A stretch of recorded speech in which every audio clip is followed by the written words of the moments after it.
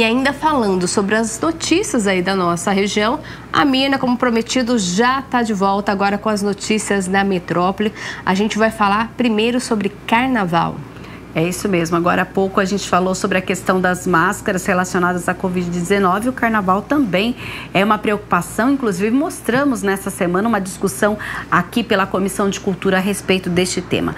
E ontem, numa reunião do Conselho de Desenvolvimento da Região Metropolitana de Campinas, a Prefeitura informa que não vai mais promover o carnaval oficial da cidade em 2022 não haverá investimento público em contratação de trio elétrico, sonorização, bandas e palcos. Desde o início da pandemia, a prefeitura tem pautado as suas decisões com base em critérios técnicos, como números de casos e óbitos, taxa de ocupação de leitos e taxa de transmissão de vírus, diz a nota emitida pelo Executivo Municipal. Ainda diz que, como estamos a três meses do carnaval e uma nova variante do vírus, a Omicron, foi identificada, a Secretaria Municipal de Saúde entende que qualquer decisão de cancelamento ou mesmo a autorização do evento neste momento seria precipitada. O Departamento de Vigilância em Saúde órgão da secretaria, acompanha diariamente os estudos realizados em todo o mundo sobre a nova variante e a sua disseminação.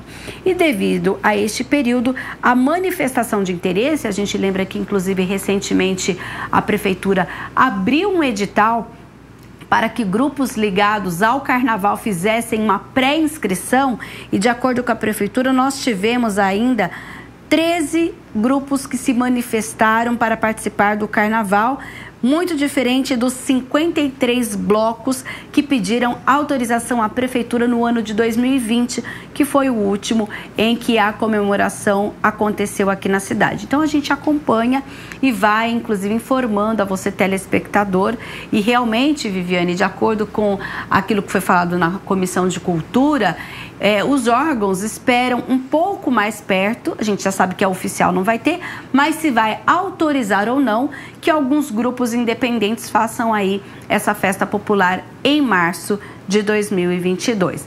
E falando nisso, a gente inclusive com essa questão da nova variante, a gente sabe que o que protege no momento é a vacina. E a gente tem um déficit aqui na cidade, inclusive com as medidas em que a prefeitura, em relação às escolas públicas para que os adolescentes possam se vacinar. A gente teve o Campinas Vacina mais recentemente para que também os adultos de 18 a 24 anos possam se vacinar. Você não agendou ainda? Não sabe como agendar? A gente vai te ajudar agora. Se você não tem acesso à internet, você pode discar o número 160, que é o Disque Saúde da Prefeitura. Mas se você tem, atenção aqui na nossa tela, olha. vacina.campinas.sp.gov.br Lá tem a, a, todas as campanhas e aí você entra na campanha nacional de vacinação contra a Covid-19 em Campinas. Entra lá em agendamento. Olha, a Viviane está fazendo o passo a passo que você deve fazer aí no seu computador ou também no seu celular. Se você fez o agendamento e não, pode, não pôde comparecer, também você pode acessar e reagendar. Dose adicional para pessoas com 18 anos ou mais que receberam a segunda dose há mais de cinco meses. Mas, poxa, eu não sei quando eu recebi a segunda dose, perdi meu papel, não sei o que fazer clica ali, quando a pessoa coloca o número do CPF dela, a data de nascimento e o primeiro nome, vai aparecer. Você tomou as duas doses, tem as datas, então até a partir de tal dia você pode reagendar. Porque às vezes pode ter que as pessoas, olha, eu não tenho certeza se eu já posso ou não.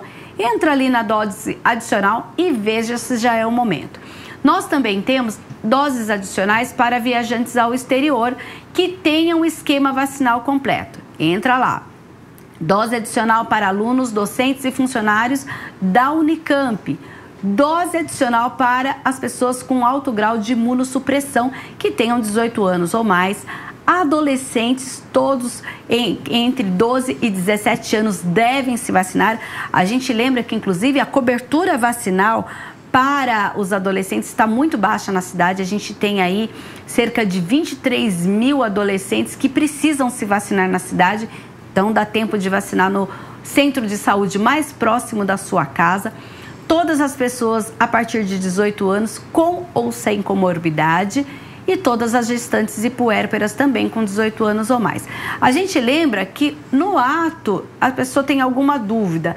O site também ele tem como você tirar algumas dúvidas, justamente sobre essa questão da vacinação. Olha, eu tomei a primeira dose da Pfizer, agora só tem AstraZeneca, ou a primeira dose foi da AstraZeneca ou Coronavac, agora está disponível a Pfizer.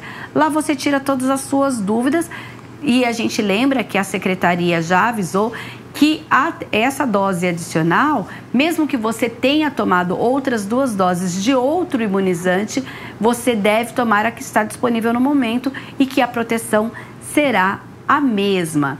Então, você não agendou ainda, não conseguiu participar de uma das ações do Campinas Mais, que é aquele movimento em que a Secretaria de Saúde monta uma equipe em um shopping da cidade ou um local de grande circulação? Não tem problema. Entra no site, dá tempo. A gente tem vacina disponível na cidade para que você possa se inscrever em um dos 64 centros de saúde de Campinas, são os locais de vacinação. Inclusive no site tem endereço, tem local mais perto da sua casa e horários disponíveis para a imunização contra a Covid-19. Importante que você procure e faça logo esse agendamento. Mina, não tem desculpa, né? Você disse aí 64 pontos disponíveis para a população e a escola estadual também vai começar a aplicar nos nossos jovens, né? Então, todo mundo já pode se vacinar. É isso mesmo, vamos aí aguardar que, que todo mundo vacinado tem festa de Natal, tem Ano Novo, então é um momento importante em que as pessoas querem aí confraternizar, com famílias e amigos também. Então, todo mundo imunizado garante mais segurança. Com certeza. E, Mina, a gente sai aí da área da saúde e vai para a área da educação, porque tem vaga disponível. É, a gente falou recentemente sobre a questão do déficit, falamos também aqui das inscrições para as escolas infantis aqui no município de Campinas. E ontem, a Secretaria Municipal de Saúde já emitiu uma primeira nota que vai oferecer 7.500 vagas. E olha, já saiu o nome dos contemplados. E ontem, que foi o primeiro dia de matrícula, já 2.639 crianças já garantiram a sua vaga, ou seja, os pais já foram na escola, já fizeram a matrícula. Então, se você está entre essas 7.500 famílias que têm uma criança que está concorrendo a uma vaga, olhe lá, veja se o seu filho, o seu neto, alguém que você seja responsável está enquadrado, conseguiu a vaga e corra para fazer a matrícula.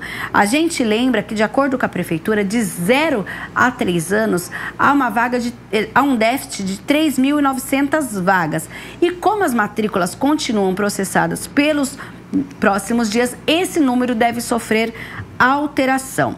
A secretaria recebeu 7.572 inscrições de crianças entre 0 a 5 anos. Destes total, 5.727 eram de crianças de 0 a 3 anos. Os, entre os critérios, a distribuição das vagas é feita, claro, conforme a disponibilidade e a classificação dos alunos, que segue a participação no programa Bolsa Família situação de vulnerabilidade social também. E por lei, a gente lembra que as crianças que completarem quatro anos até março de 2022 são obrigadas a cursar a pré-escola. Então, reforçando, né? São 7.500 mil vagas aí para educação infantil, crianças a partir de zero ano, né? Tem vaga disponível, é só o pai levar toda a documentação necessária e fazer a inscrição, né? Isso mesmo, fazer a inscrição para as aulas começarem logo em fevereiro de 2022.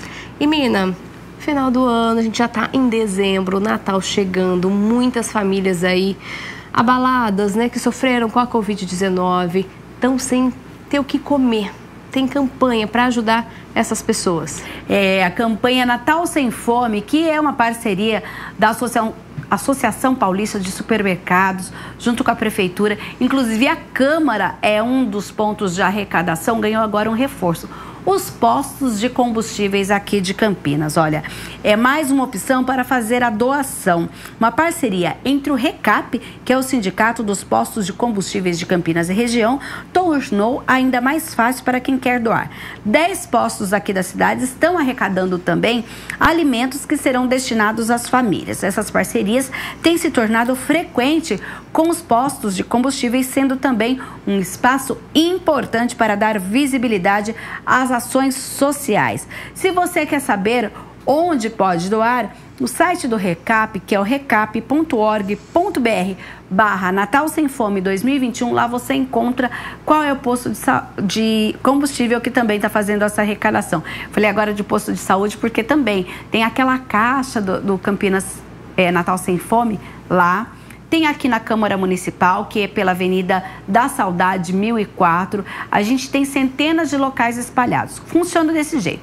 Você deixa lá o alimento não perecível. Assim que a caixa enche, é feito então o recolhimento desses alimentos que são encaminhados ao banco de alimentos aqui da prefeitura que fica lá na Ceasa.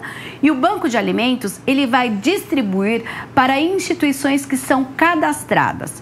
Essas instituições, então, é que farão diretamente a distribuição para as famílias, nos territórios ou em outros serviços sociais. Não é a prefeitura que distribui diretamente esses alimentos. Então, você que quer participar, ou você tem um centro comercial, tem um lugar que quer ser também ponto de distribuição, ponto de arrecadação, entre em contato com a prefeitura, tem lá no banner www.campinas.sp.gov.br e você sabe lá quais são os locais que pode então também ser um ponto de arrecadação. E se você é um comerciante e quer ser também, pode entrar em contato que a prefeitura providencia uma caixa do Natal sem fome para você. É, é esse movimento aqui na cidade de Campinas para tentar minimizar a fome das famílias em vulnerabilidade social. Mirna, vamos reforçar então para o pessoal de casa que essa campanha do Natal sem fome faz parte aí da campanha Campinas sem fome. Só para lembrar o pessoal de casa, essa campanha arrecadou 712 toneladas de alimentos, resultou aí em mais de 93 mil cestas básicas. Então é muita família necessitando e é uma forma também de ajudar nesse Natal, né? Todo mundo quer comer bem, quer todo mundo quer comemorar, mas tem gente que não tem nada para colocar na mesa. Um pacote de feijão, de arroz, sal, ali um macarrão. Se todo mundo ajudar, como disse o presidente aqui da casa, o vereador Zé Carlos, quando a gente mostrou aqui a reportagem que a Câmara também faz parte, aí é um ponto de doação, um pouquinho não vai pesar, né? É, você que está passando aqui pela Avenida da Saudade 1004, tem um ponto de ônibus, inclusive, aqui em frente. Ah, estou passando, vou pegar o ônibus. Já coloca o seu quilo de alimento dentro da bolsa, entra aqui na recepção da Câmara Municipal de Campinas e faça a sua doação. É, as pessoas moradoras aqui da nossa cidade unindo esforços nesse momento para amenizar essa fome e dar um Natal mais digno para as pessoas em vulnerabilidade social. É fácil doar e não pesa para ninguém. Vamos continuar falando de solidariedade porque tem brechó agora. É, a gente lembra que principalmente nessa época do ano acontecem vários bazares e brechós justamente visando angariar fundos para as organizações sociais. E desde hoje, às 9 horas da manhã, começou um tradicional bazar aqui, brechó da cidade, que é o Brechó Silvia Pascoal, da instituição espírita Oceareiros, e vai até sábado, dia 4 de dezembro. No local estão sendo comercializados sapatos, roupas masculinas, femininas e infantis, bijuterias, brinquedos, itens de decoração, móveis, eletrodomésticos e muitas opções de produtos a preços acessíveis para toda a população. A renda obtida será revertida para a manutenção de obras assistenciais da instituição que atua há 46 anos no município. Um fu o funcionamento então é sempre das 9 da manhã às 5 da tarde na unidade da Casa de Jesus que fica na rua João Alves dos Santos, 860, no Jardim das Paineiras. Então você pode ir até lá até 5 horas da tarde e eu vou dizer que já fui nesse brechó, não esse ano, mas coisa de qualidade, vale a pena conferir. ajuda o nosso bolso, né, que está mais em conta, e ajuda também a instituição. Uma ótima opção para quem não quer gastar muito, né? Isso mesmo.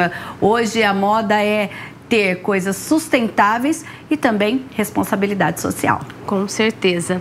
Mina, a gente já falou aí de Covid, de vacinação, de educação. Agora a gente vai falar de água. Falta de água. Amanhã? Isso, é. Atenção a você que vive aí na região do Jardim São Vicente. Olha, amanhã a gente tem alguns bairros sem água. Jardim São Vicente, Jardim São Gabriel, Jardim Bom Sucesso e a Vila Formosa. Vão ficar sem água das 8 da manhã até as 5 horas da tarde, porque a Sanasa vai fazer um serviço de interligação de redes. Então, se você trabalha ou mora em um desses bairros, faça a reserva de água ainda hoje. A gente lembra que uma caixa d'água de até 500 litros, ela abastece uma família de quatro pessoas por até 24 horas. A gente está aí avisando com antecedência, então para você que mora nessa região, se preparar, não ser pego de surpreso, né? Porque ficar sem água é muito ruim, principalmente em dias mais quentes. Mirna, essas foram então as notícias da metrópole. Eu agradeço a sua participação aqui e conto com a sua presença de novo amanhã.